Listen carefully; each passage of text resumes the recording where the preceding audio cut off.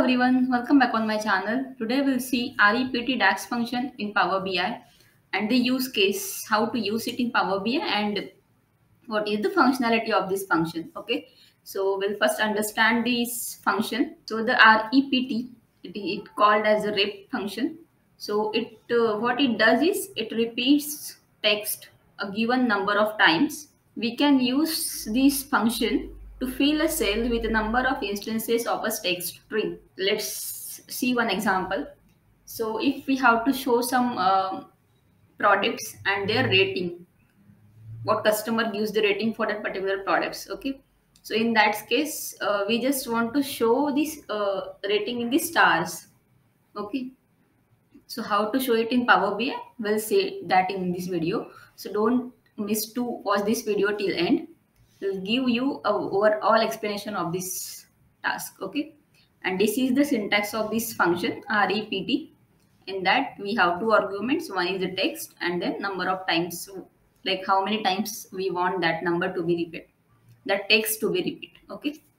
So let's see it in power bi so let's understand data first. So we have in data we have the product name then the sales of that product and their rating okay their customer rating. So in this we just want to see the uh, ratings in the stars okay? So like this okay? So i have created this. So in this way we have to create. So if we have the product name and we have to show the rating for the products for the top five products then how we can show that okay? So here uh, we have taken this rating column and then we have added the stars. So for adding these stars we have the REPT function in DAX. Okay, so let's see the measure, how to write the measure for this.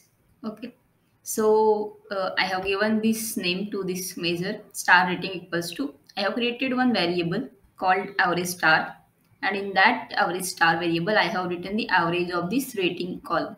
Okay, so this is the table name and this is the column name. So I want the average of this column. Okay, and then I have written the second variable called stars. So here what I have given is, so I want the uh, maximum 5 stars, okay. So whatever uh, max number we want for that particular text or anything, we can just give the number here and we can just subtract this variable from the here. So whatever average value we have, we can just subtracting it from the 5 okay? So that we will get that particular number of stars okay? Then in return what i have written is the REPT function. So uh, this Unicode codes you can find online. You can just search this uh, Unicode code for the star.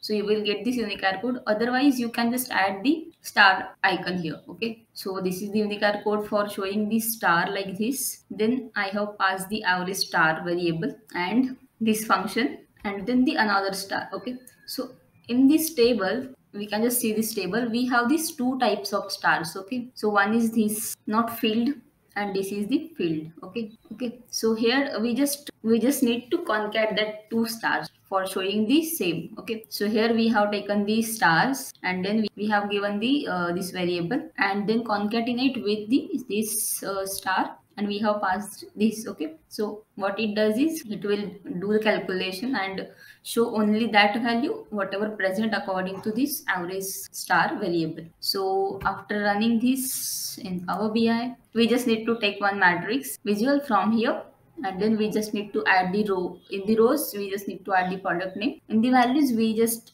we will add the rating and the star rating. That measure what we have created now okay? So we just need to take the matrix visual from the visualization pane and then we just need to add the product name in the rows and in the values. We can just add the rating and the star rating that we have created as a measure okay? So after adding this in here we will get the stars like this okay? So we have the two types of stars here okay? So one is the not filled so what it is showing is for this 2.5 rating it is showing the 3 so here we have one disadvantage to use this function is so whatever value we are showing here as a rating it is like taking approximate value. For 2.5 it is taking the 3 okay? For 3.5 it is taking the 3 for 4.5 it is taking the 6 okay? So whatever point value it is not taking it is only taking the approximate values okay? So if we have the value after decimal is more than 5 and 5 it is rounding up. And if we have the value less than 5 it is rounding down. Okay so in this case two, for 2.5 it is showing the 3 stars. For 3.5 it is showing the only 3 stars.